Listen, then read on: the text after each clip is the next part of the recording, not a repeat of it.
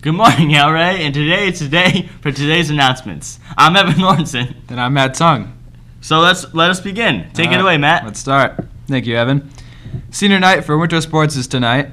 We will be recognizing boys basketball, cheerleading, indoor track, and fencing. Come to the game and give props to our seniors. The ceremony starts at 6:30. And coming up, the sports banquet will be on Thursday, March 3rd. The black and white Semi-Formal is next Friday, March 4th from 7 to 10 p.m. in the gym. Tickets will be on sale for $5 in the cafeteria and $7 at the door. This will be a lot of fun, and we hope to see you there. Okay. And for lunch today, there will be pizza sticks with sauce or a fish sandwich with coleslaw. Sounds tasty. All right, back to you, Evan. Thanks, Matt. And here's today's weather from WFSB. It will be today. It will be partly to mostly sunny, windy, and much colder, with a low of 32 and a high of 36. While Saturday it will be mostly sunny and seasonably chilly. Right, seasonably. Seasonably like parsley, with a low of thir- 15 and a high of 39.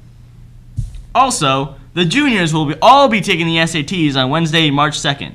Here is an interview with Mrs. Little Finnegan that may answer some of your questions about these tests. Cue the video.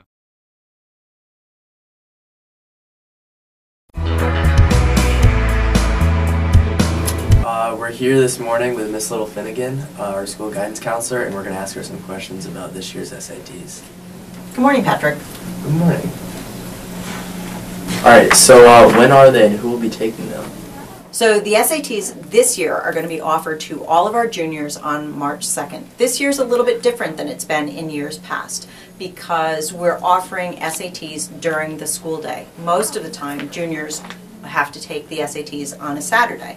Um, it's different this year because the state of Connecticut is using the SAT as what's called the state accountability testing. Very much like they used to use CMTs or they used to use something called SBAC, now they're going to be using SATs. All right, so what is the purpose of these tests?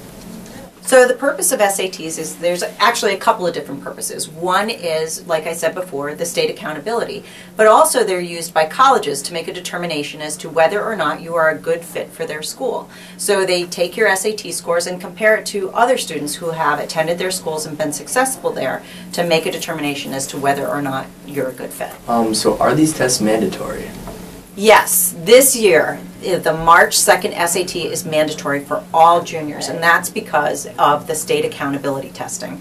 Um, all juniors across the state of Connecticut will take the SATs on March 2nd. So how would you prepare for these tests?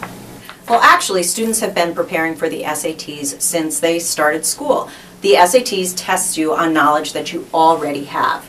But we've also gone into sophomore and junior classes to because they took something called the PSAT back in October. And we gave them, and we showed them all different sorts of tools that could help them prepare for the SATs using Khan Academy. Um, how is the test structured? The SAT that students will be taking on March 2nd actually has two different sections, I'll call them. Um, one is based on critical reading and writing, and the other one is, is structured under math. There is an essay portion of the SAT, but that's not going to be on the March 2nd administration, the school-wide administration. So we recommend that students take the SATs probably twice. It's just like anything. If you take a test the first time, the, excuse me, the second time that you take a test, you'll probably do a little bit better because you're more familiar with it and you want your scores to be as good as they possibly can when you submit them to colleges. So the March 2nd administration is actually free to all students. The state is paying for that for that SAT.